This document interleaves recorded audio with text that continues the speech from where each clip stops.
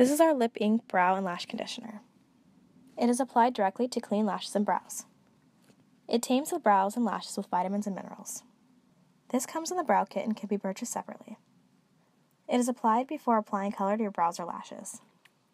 This product is also natural, organic, kosher, vegan, gluten free, wax free, with full UVA and UVB sun filters not compatible with other cosmetics.